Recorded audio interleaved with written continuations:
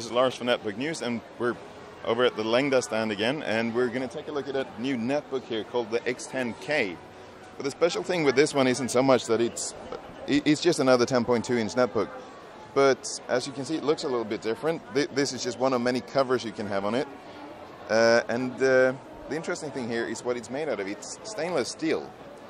Uh, we've also been told that they're going to be doing aluminium versions of this netbook, which should be a little bit lighter because this is quite heavy at 1.37 kilos.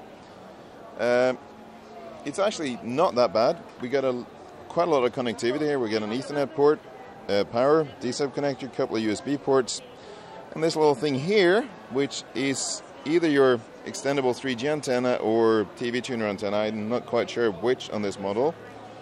Uh, another USB port, and uh, behind here we have a card reader. And on the front we got a couple of audio jacks for headphones and microphone. This is where the speakers are as well. Kensington lock on this side. The design on the bottom is very clean. They've done little nice cutouts in the mesh of the stainless steel. Uh, let's see if we can take the battery out on this thing. I seem to have the same problem as Sasha do. Nope, this is really stuck in. I'm never going to get that out. Um, this is sort of a production sample, so it doesn't look so pretty, but uh, as you can see, the keyboard looks kind of similar to the HP netbooks. It's very nice to type on.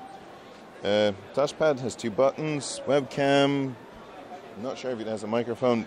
This is not a final model, but uh, we're going to be checking back with these guys we're going to try to get some review samples when they get final production models of this and the aluminium model.